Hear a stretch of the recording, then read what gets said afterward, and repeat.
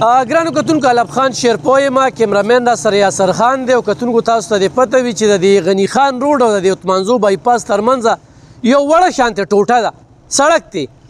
په دې باندې یو شمیر ویډیوګانې منګه وکړلې خو په خوانی حکومتونو مخکینی حکومتونو زوړ پاکستانو اوس په دې صوبه کې د ایماندار حکومت راغلی دی نو دا ایماندار حکومت چې کم دین هغه داسې ویډیوګانو ته ډیر په بد نظر ګوري او هغه زړو حکومتونو ولا باندې به خې لګي دي ولې و په خې لګي دي چې چا ورته داسې مسله په ګوت کړه نو پاغي باندې پوری چې کم دی اکشن واغست او هغه سړک په جوړ ک دی ګاړو ولا ته ګور دي ته چې کم تکلیفونه روان دي په دې زینو کې دا ګورځي دا تاسو دوران دی خیمه په دغه ایماندار حکومت کې مجال شته خو دا ټوټه جوړه شوه دلته عمران خان چې کم دی د ایماندارو لیډر هغه ډېر غټه جلسه کړې وه خو دا جلسې سیسه چې کومه ده دې ټوټې ته پرېښې وه نو دا سړک په پې جوړ شوی خو دې وخت کې صوبه دیوالیه شوه تنخواګانې نشته ادارې چې کمې دي هغه خالی لاس ناست دي ایم پی ایګان چې کوم دي تنخواګانې نه اخلي او وزیران چې کوم دي تنخواګانې نه اخلي هغوی مراغات چې کوم دي نو صوبې خزانې ته دا کړل اسې بس لګیا دي خپل خه مراغات هم اخلي خپل چې کوم دي نو خو پوره انکم ورته روان دي عیاشې کوي خپل ټیکې اخلي خو مجال شته خو د ولس مسلې چې کم دینو دوی خلکی نو زه د ټولو مخ کې دا وایم خو زه په ډېرې خبرې وکم نو دې ته پاملرنه نه کیږي دلته دې خلکو دا کاروبارونه چې کم دي دا وګورئ جی دې کاروبار ته دا کټې خودلې دي دلته کې څوک درې دی نشي خو لګو درېږي نو دا روډ دی دا روډ دی جی دا دا امپیګان او امنیګان پیزي دا بیروکرات هم په دې ځي په بخو بخو دې سړک ته ګوري خو نه ټیک کوي دا قام چې څونه په تکلیف کې وي نو دوی من من غټیږي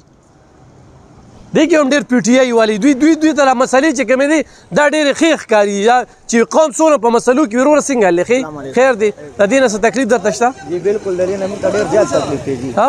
ډېر زیات تکلیف کیږي ټول ډېر زیات ده موږ مال بار نشي خو دی ها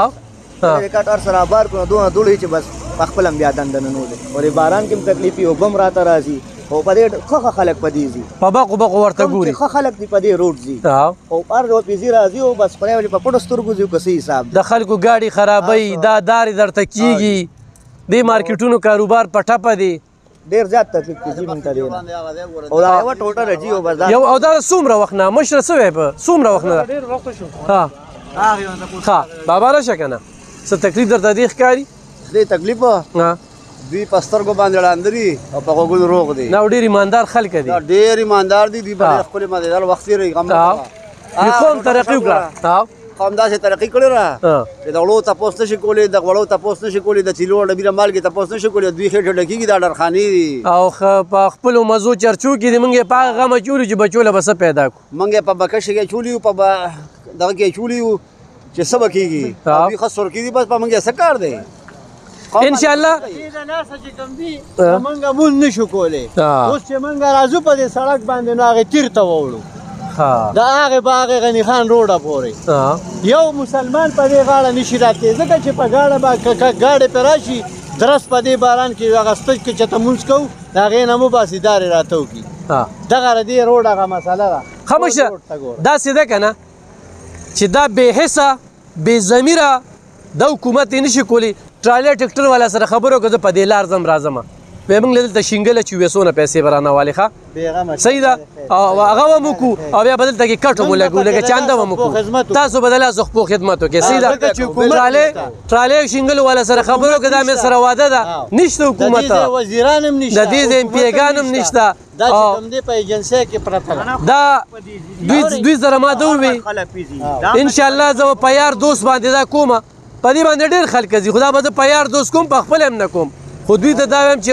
ټراله والا یا شنګل والا ز خبرو کا چې په دې سراسر شنګل واچو دا غاړي خو په وار دي کنه صحیح ده وروره یا دا په دې باندې دی باران ټول سړک ته دا ګورې جی دا ګورې دی غاړو ته ګورې جی دا زه تاسو ته کم کم زه وخېما د دې به هیڅ حکومت زه تاسو ته څه سوخه ما خیران بشي کنه چې خبره ورته کین غوړ منګي دي غوړ منګي دي د مخ سره بر باسي داسي لیبل به باندې لګي داسي لیبل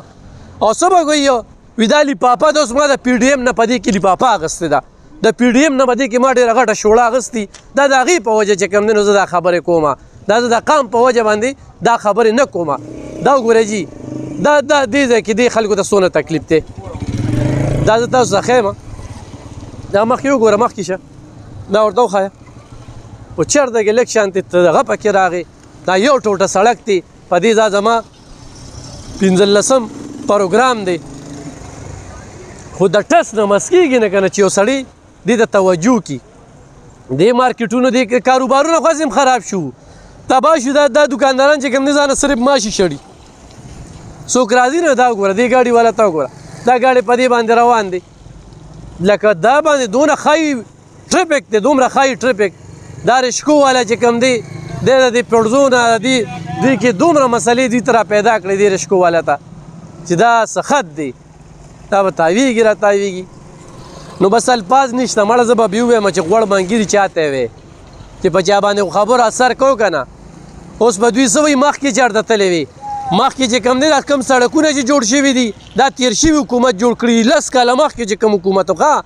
دوی ټکم نه کړي په دې 400 کې د ماته وي دوی ټکم نه کړي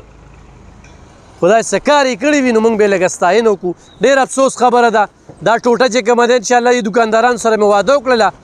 او دلته به کټ لګو دې له به چاندم کوو او زما چې څونه یار دوست وي په هغوی باندې به انشاءالله دې له شینګل لوړم خو نه دې ټرالي وکړله خو سبې ټرالي وکړله نو بلکل زه په دې لار واپسو کې راځم دا دې دا ټرالۍ والې دی مشره ته بدل موږ له شنګل په سور وړې پدې کې دا پیره دې په سور وړې دا ونیم زره او چې دې لارو کې چو دا په سور رالو شي دا دا هغه ده همدا شی به اه همدا شی به کې چو بس خیر دې اوس پګنیم زره پګنیم زره ته ډېلی زی راځي خاطر شرپوي ها ها نمبر را لرا کا اورګه دا دا وکا چې دا کار موږ بڑا جا پی ټی آی والا خوشاله کو پرې دا دی خو سم سن شي کولی خزانه چې کومه ده خالی ده زیرو او 83 83 83 دا په سوټ رالو شي ستاره دغه رضیاله با